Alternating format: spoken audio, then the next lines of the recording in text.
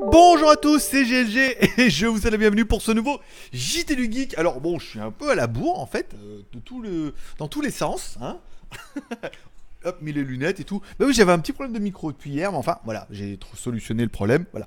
Allez, bonjour à tous, c'est GLG et on se donne rendez-vous comme toujours pour le nouveau JT du Geek. Oh, beaucoup de lumière aujourd'hui. Euh, comme toujours, le principe, les fabricants nous proposent de nous envoyer des produits en échange du produit gratuit. On leur fait une vidéo, on leur demande pas d'argent pour faire cette vidéo, mais par contre, on reste intransigeant. Ça veut dire, bah, on vous dira vraiment ce qu'il en est du produit.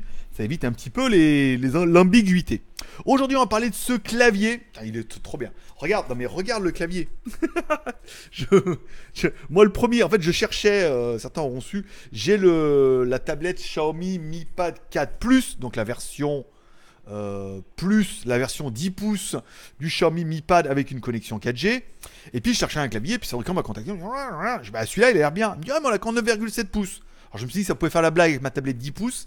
Et en fait, ça peut pas faire la blague. ça rentre. C'est beaucoup trop petit. En fait, si ça peut, mais ça fait un peu petit. Bon. Donc ils ont proposé ce clavier là qui est, juste oufissime et vous l'aurez vu tout de suite en fait. Donc il y a bien des touches qui sont mécaniques. Je sais pas si tu vas bien le voir. Euh. Toi tu peux appuyer. Il y a un petit millimètre hein, euh, pour appuyer dessus. Donc euh, ça c'est plutôt bien. Ensuite un des avantages qu'on verra tout de suite c'est que il est IPX7. Alors eux ils disent waterproof ce qui est le terme chinois pour dire... Voilà quoi. Donc ça veut dire en fait l'eau elle peut pas rentrer dedans en fait. Là tu peux faire tomber ton café, tu peux manger des chocos, des gâteaux et des trucs comme ça. T'es sûr que tu vas pas avoir une civilisation qui va habiter sous les touches. Voilà. Tu il y a un MacBook Pro à hors de prix. Donc c'est plutôt pas mal, c'est plutôt pratique et euh, il est quand même plutôt joli. Il est Bluetooth bien évidemment, tu peux le mettre sur n'importe quelle tablette, alors Android, euh, Windows ou euh, Apple, bien évidemment. Ce n'est qu'un produit Bluetooth, donc t'as pas besoin de compatibilité extraordinaire. Euh, le produit, bon, tu auras compris, ça c'est un système de fixation de l'aérospatiale. Hein. C'est-à-dire c'est un autocollant que t'enlèves, tu l'enlèves, tu mets ta tablette ici, on n'en parle plus. Alors là forcément tu l'as vu, hein, ma tablette elle fait 10 pouces, euh, le clavier il fait 9,7. Donc ça ne rentre pas, maman. Voilà. Donc bon, comment ça marche? Tu mets le clavier ici en route, attends, il est où le bouton? Il est là. Parce que là, il rentré avec les lunettes de soleil et le truc de côté. Ici, là, la tablette te dit quoi? Elle te dit, bah dis donc, euh, je suis pas en train de, retrouver un clavier? Donc là, tu dis, bah ouais, hein, forcément, trop forte.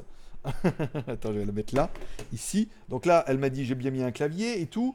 Donc j'avais déjà fait un test, mais le son était tout pourri, donc je vous le refais, c'est pour ça. Là, tu te rends compte que le clavier fonctionne bien, ici. du coup, avec le rétroéclairage, tu ne vois rien, tu ne vois rien un peu comme ça. Là, sur le côté, là. Là, là, là. Il être un petit peu fort. Hein, euh. ça va, ça va mieux se passer.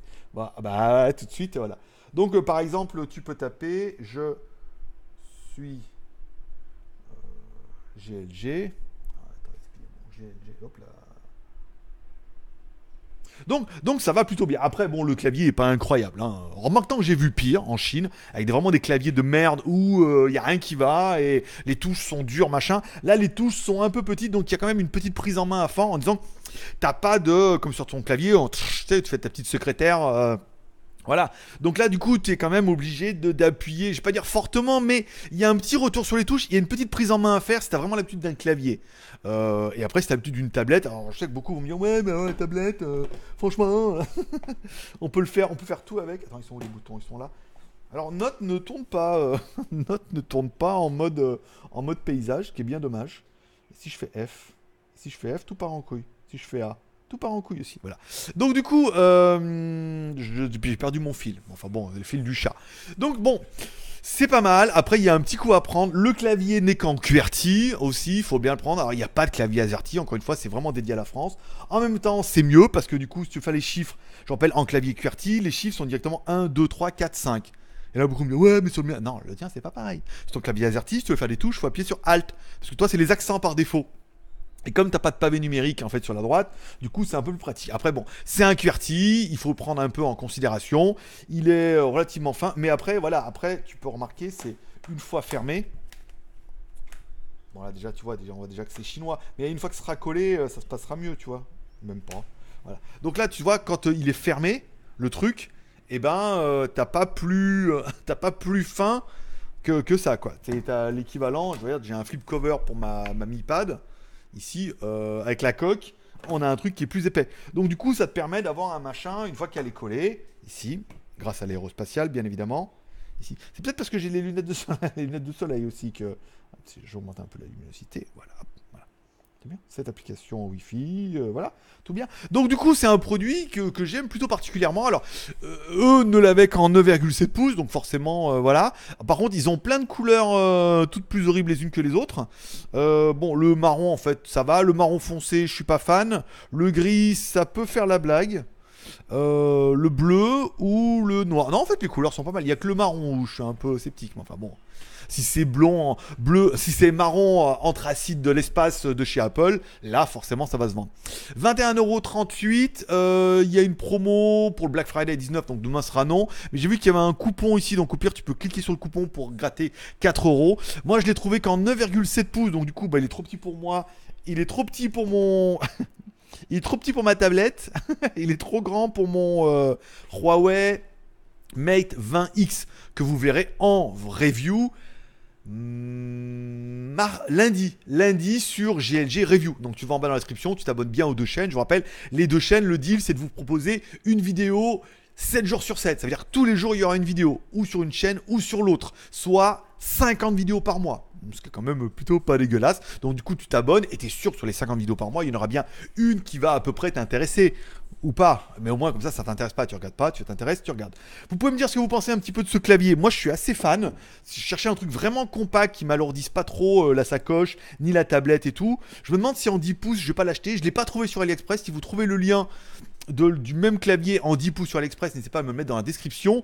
Votre lien partira en spam, mais donc du coup, je le validerai manuellement ou je l'ajouterai directement euh, aux commentaires parce que euh, c'est YouTube qui fait ça un peu comme ça. Voilà, donc ce produit est plutôt bien. Tu peux le partager sur les réseaux sociaux parce que des gens qui cherchaient un bon petit clavier pour une tablette, pas mal, ou un gros smartphone, ou alors Android, euh, Apple et Windows, bien évidemment. Et même Linux, je pense, comme c'est un clavier Bluetooth, il n'y aura pas trop de soucis.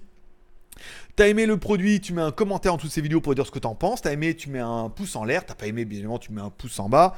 T'as l'habitude. Je sais que certains le trouvent plutôt facilement, celui-là. Plus de facilité que l'inverse. Moi, je donne rendez-vous maintenant. Alors, ce sera votre vidéo de samedi. Je donne rendez-vous dimanche pour une prochaine vidéo. High-tech, smartphone, déballage, produits. On a pas mal de trucs sympathiques. Patrick. Voilà. Bonne journée. Passez un bon week-end. On se donne rendez-vous demain. Et sinon, lundi pour la quotidienne, pour s'il y a qui ça manque. Et là, il y aura plus de problème de son. C'est promis.